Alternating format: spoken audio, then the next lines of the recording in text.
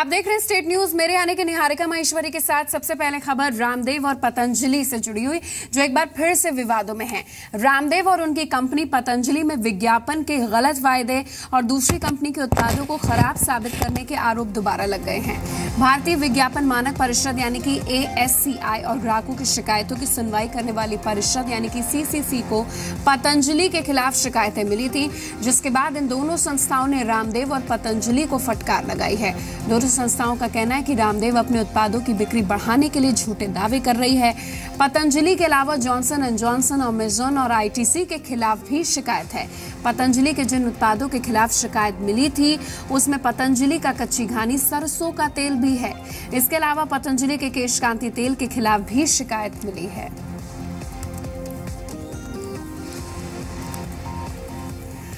वहीं रामदेव और विवादों का नाता आप समझ रहे हैं कि कितना पुराना है। बीते कई सालों में रामदेव पर कई आरोप लगे हैं, जिसकी फहरिस्त आपको बता देते हैं।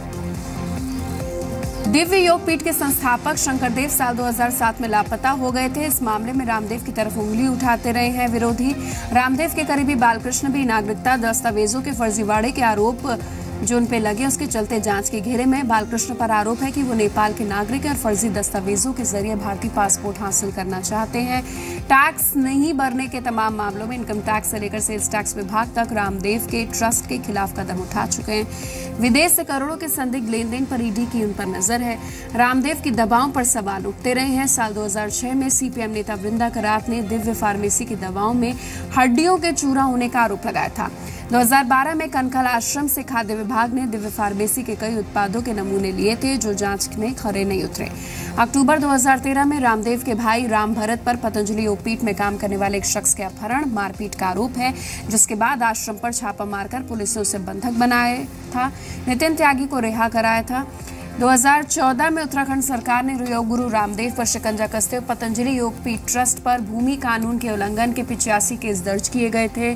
सरकार द्वारा उस समय की, अप्रैल 2015 में जेडीयू नेता केसी त्यागी ने योग गुरु पर केस दर्ज करने की मांग की थी। उनके मुताबिक बेटा पैदा करने वाली दवा पुत्र जीवक बीज वो बेच रहे हैं, जिससे प्रधानमंत्री के बेटी बचाओ, बेटी पढ़ाओ अभियान को नुकसान हो रहा है। सत्ताईस मई 2015 को पतंजलि फ़ूड पार्क के कर्मचारी ट्रांसपोर्टर्स के बीच मारपीट हुई, जिसमें हुई फायरिंग में एक शख्स की मौत हो गई, जिसके बाद रामदेव के भाई राम भरत को भी जेल जाना पड़ा। इतनी बड़ी फहरिस्त है। क्यों विवादों में रामदेव रहे उसकी जानकारी आपको दे रहे हैं। तमाम विवादों के बाद रामदेव पतंजलि को 5000 करोड़ की कंपनी बनाने में कामयाबी मिली। अगला टारगेट 10000 के कारोबार का लक्ष्य का है। पतंजलि ने 2015 से 16 में 5000 करोड़ का कारोबार किया जबकि 16 से 17 के लिए उन्होंने 10000 करोड़ के टारगेट का लक्ष्य रखा है टारगेट रखा है कारोबार का। बीते चार साल में पतंजलि ने सौ फ़ीसदी ग्रोथ पाई है। रामदेव का दावा है कि उनके स्वदेशी उत्पाद मल्टीनेशनल कंपनियों पर भारी पड़ रहे हैं। इसके पीछे पतंजलि के उत्पादों का सस्ता होना भी एक बड़ी वजह है। पतंजलि के जैम हनी घी शैम्पू जैसे उत्पाद बाकी कंपनियों के मुकाबले बेहद सस्ते हैं। साल दो हज़ार में पतंजलि की ग्रोथ सिक्सटी परसेंट रही। वहीं पतंजलि ने पिछले एक साल में डेढ़ फ़ीसदी का ग्रोथ हासिल किया है।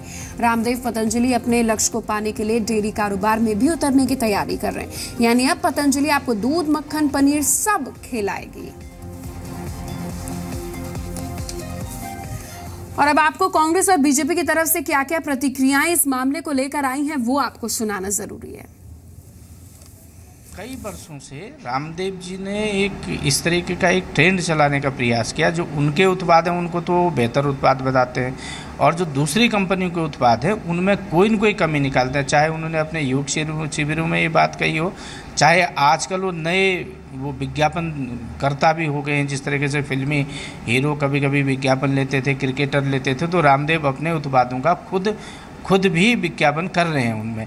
उनमें वो ये भी कर रहे हैं कि भाई अपने उत्पादों की बढ़ाई कर रहे हैं और दूसरे उत्पादों को कम दिखा रहे हैं। जो कंपनियाँ दूसरी हैं, उनके उत्पादों के लिए तमाम तरीके की बातें सामने ला रहे हैं। उनके कुछ गुण, जो भी दोष हैं, उनको ला रहे हैं या उनके, उनकी उनकी उनकी जो उपयोगिता है, उसको कम आंकने का काम कर रहे हैं। इस तरह के जो जो भारतीय विज्ञापन मानक परिषद है, उन्होंने रामदेव जी के ऊपर शिकंजा कसने का काम भी किया। मैं तो बधाई देना चाहूँगा उस संस्था को जिन्होंने रामदेव को इस तरीके की हरकत करने से मना किया है। ये रेगुलेटर्स हैं बेसिकली ये नियंत्रक मानक संस्थाएँ हैं कि इस संबंध में जो विधान हैं, जो कानून हैं उसका लेटर इन स्पिरिट में पालन हो। तो समय समय पर रेगुलेटर का काम यही है कि पहले वो वार्निंग दें, फिर एक स्टेज के बाद उसको फाइन करें पेनलाइज करें, और फिर और ज़्यादा उसके बावजूद भी कोई डजन मैंड देयर वेज अपने में सुधार नहीं लाता है तो उसके बाद वो दूसरे कोवर्सिव एक्शन भी जो कानून में प्राविधानित होगा, उसके अनुसार कर सकते हैं। लेकिन मैंने कहा, ये नितांत जिसे कहना चाहिए, पतंजलि योगपीठ का जो मार्केटिंग डिवीज़न होगा, जो उनका पब्लिसिटी डिवीज़न होगा, ये उनका काम है। हमसे इसको, हमें ना इसकी कोई विस्तृत जानकारी है और ना भारतीय जनता पार्टी कोई पतंजलि योग पीठ पतंजलि के उत्पादकों का कोई ना हम, हमारी कोई मार्केटिंग की ज़िम्मेदारी है, ना हम उनको कोई सर्टिफिकेट देते हैं।